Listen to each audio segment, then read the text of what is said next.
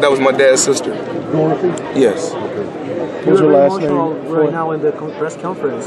That's the reason why, or maybe No, no, it's not. I'm just, you know, just that, you know, I got a heart. You know, I'm passionate. You know, I didn't get here by myself. I had a strong, strong team behind me. You know, I didn't get to acknowledge everybody, but my lawyer.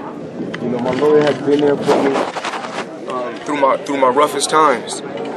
You know, Shane Emmerich, he has been there for me through my roughest time. My lawyer is like one of my best friends, and um, he was there for me. And these are the things that I don't talk about, or the people I don't acknowledge. And it's, it's a lot of people that's behind the scenes, no different from um, Doralee Medina. You know, Doralee Medina, she has to massage me. She has to be on call 24 hours a day.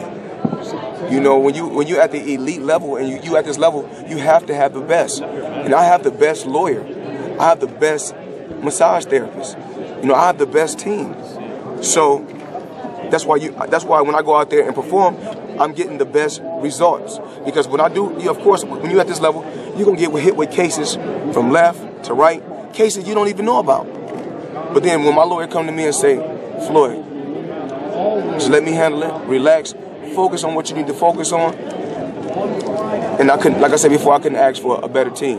When you bring when you bring Bernard Hopkins to the when you bring when you bring Bernard Hopkins to the podium, you're going to cause people to start to think. I mean, Sugar Ray Leonard did that with Bernard, with uh, Marvin Hagler, brought him to Baltimore, and then waited around and then fought him. Well, you know, um, I can't I can't really say you know what's going to happen you know with, with my future. Um, I don't know if this is my last fight or not, but I'm gonna tell you right now, Saturday is gonna be a very exciting fight. When you bring him to the podium like that, you're going to I, cause I- people I take, talk. I take one fight at a time. I can't overlook this guy. Right. We, we, we, we fight Saturday. After the fight is over, we talk with Leonard, talk with Al, we talk with Richard, and see what we come up with. How Why big would you would a- walk away though? Okay. Why would you walk away and Why would even? no? Because if I if I because I mean um, as a human being and as a uh, as a as a man, I'm able to, to do what I want to do with, with my career. your last your last defeat was in the amateurs, and you shared the podium in the Olympics with an Argentinian. You remember the, the scene? It could be the, the first time in maybe 18 years to be together with another Argentinian and be undefeated. Do you? Um, I if I'm if I'm not mistaken, I fought I have fought some guys from Yes. Argentina already. Rios, Yeah, so I've been in there with some guys from but, but Argentina. right now, right now, I mean, uh, I mean, what make I mean, I mean, the country has nothing to do with the fighter. If you can fight, you can fight, no matter where you're from. Okay. You know, you could be from Cuba, you could you could be from Dominican Republic, from Argentina. If you can fight, you can fight. That has nothing to do, like I said before, the color of a flag has nothing to do with if you can fight or not. Floyd, are you Floyd, looking you said for this. the? You said looking- this fight's going to be a little bit different uh, than your last two fights. Can you just describe that a little bit more in detail? Why? Um, it's, it's, it's going to be just totally different. You know, I think styles make fights. Are you looking for a knockout? Um, I'm looking to win. I'm looking to win. Very, very impressive. I'm pretty sure he's coming. He's coming straight ahead, and we'll see what we'll see how the fight play out. You see any similarities to the Cotto fight at all? even though he's a, a 80, he has an 80% knockout ratio. Um, I can't, I, I can't say nothing. I, I can't say if he punched harder than Cotto. I can't talk bad about this guy. You know, I don't have nothing bad to say about him. Um, Cotto, tough, strong, you know, rugged guy with a lot of experience. And um, you know, sometimes when guys get to a certain level, they fold under pressure. So we'll just see how the fight plays out, you know, come Saturday. Would it be did hard say- to walk make away? a reference Would to it be the hard fact that to? he couldn't knock out uh, Adrien.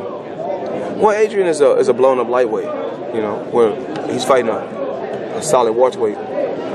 You know, in myself, he's fighting a solid welterweight. So I think it's gonna be a little bit different. You know, a lot of times guys can give it, but, but can they take it? You know, we I think we've seen him fight um, Victor Ortiz. He got hit on the chin and went down. You know, we didn't see him hit the canvas, but you have never you have never seen me hit the canvas, and I've been hit by some of the biggest punches. Yeah, with the sport, you're gonna get hit.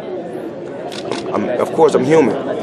You know, I may wobble a little bit. I'm human. I may get hit with a good shot, get hit on the temple, but like I said, like I said before, I prepare myself for any style. So we, we'll just see how the fight play out. Would it be hard to? Well, you actually Justin in your camp here the last few days. Like something Justin who? Jones. I, you know, you know, Have you gotten to know him much at all? you know, when I actually, you know, when I go to the boxing gym, it's the gym is packed every day with you know two and three hundred people. Sometimes three hundred. You know, it's, it, my gym is packed with two or three hundred people every day.